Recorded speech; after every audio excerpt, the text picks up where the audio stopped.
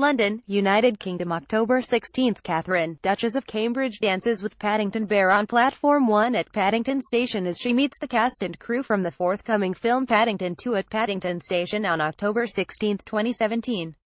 Photo by Jonathan Brady WPA Pool Getty Image Since Kensington Palace announced last month that Kate Middleton is pregnant with her third child with Prince William, she has retreated from the public eye, she suffers an extreme form of morning sickness called hyperemesis gravidarum, and even missed Prince George's first day of school.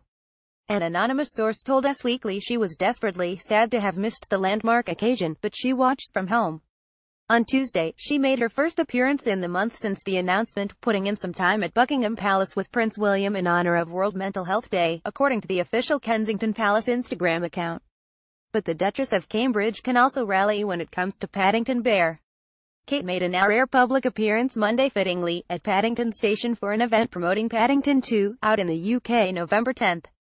She stepped onto the train platform alongside the princes Harry and William, as well as children from organizations affiliated with the Charities Forum, an umbrella organization of non-profits the three royals all work with.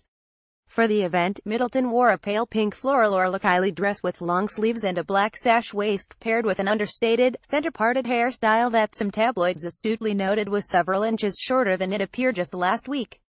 Naturally, it prompted near-immediate speculation about such tangentially related concerns as her pregnancy and the rumored engagement of Prince Harry and Meghan Markle.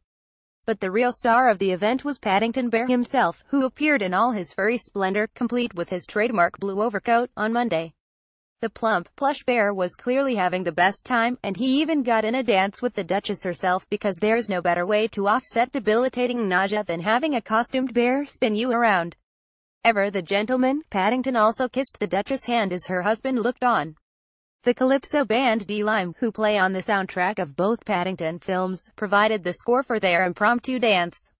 Anyways, it looks like she's having a ball we can only imagine Prince George is just as delighted to see his mother waltzing with a national icon. Watch Kate Middleton's hairstyles through the years.